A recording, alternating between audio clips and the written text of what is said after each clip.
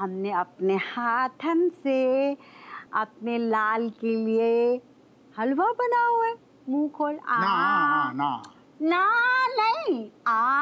अरे ना ना मन्ना है अम्मा। भूखना है।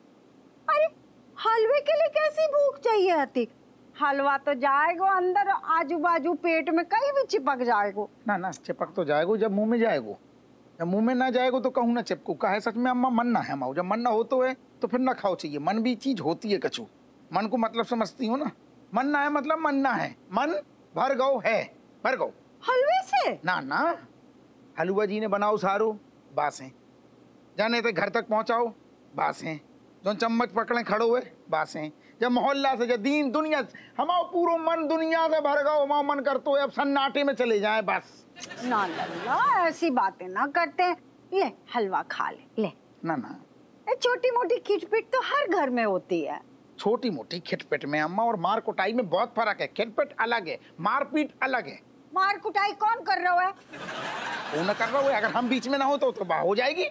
बाकी ये कमी है गई ना? जो दिन हम ना हुए मार कुटाई भी होगी हो जाई घर में होगी सारी। ना ना ऐसी बात ना करते हैंगे अच्छा वो बात छोड़।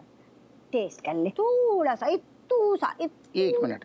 कछु फ़ायदा ना है ना अम्मा इतो सो ना उतो सो। असल में क्या रखो बता ज्ञान ज्ञान दे रहे सुन लो आज। जो खाएँगे पेट में जाएगा खून बनतो है। कहा कि खा पी के जितना हमारा सारो खून बनतो है कटोरी भर। हाँ। जब ड्यूटी से लौटते हैं तुम दोनों की चौची देखते हैं सारो बाल्टा भर खून छनक जातो है। बनो कटोरी भर। छनको बाल्टा भर।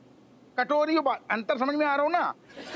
बहुत बड़ा अंतर है जो का फिर खा पी के मतलब ही ना है ना? बस बहुत बढ़िया। आप कुछ नहीं खाने। थोड़ा सा। ना खाने।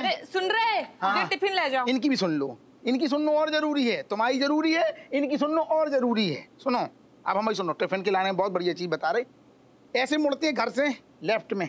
कौन को घर है? तीसरो मकान कौन को है? बिमला को। बिमला। तुम बिमला को जो खिलाओ कैसे बिमला वही है, बिमला जी ने अपनी सास की चोटी काटी थी और पति की मूछें काटी थी। भाई के पास जाओ, डब्बा खोलो, दो जने मिल बांट के खाओ। तुम्हारी बहुत पटरी खाएगी, बिल्कुल जुड़मा बहने लगती, जो तुम हमारी जगह से खा लो। बहुत बढ़िया।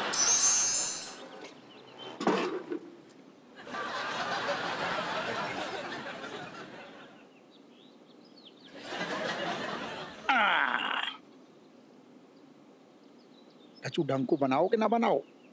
आमलेट लैम्प हतोष ले। अरे ऐसे खुले आम ना दे। पता है घर में का माहौल है? घर वाले सब समझ रहे कि हम हम तो ना ऐट गए ना। हमें नहीं खाने हमें नहीं खाने। सारी समझ रहे कि हम भूखे भूखे जा रहे ड्यूटी पे तो तनक समझ रहे हो ना हमदर्दी एक्स्ट्रा वाली तो ऐसे ना दे। मतलब क्या है कि अभी तक इन दोनों की ट्रेन जो है पटरी पर नहीं आए हैं?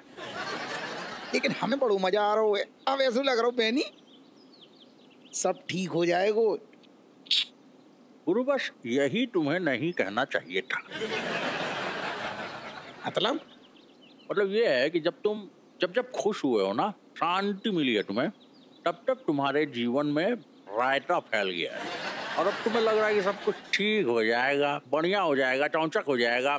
तो अब तुम्हारे जीवन में रायते की बाढ़ आने वाली है बाढ़। और तुम उसमें डूबने वाले हो।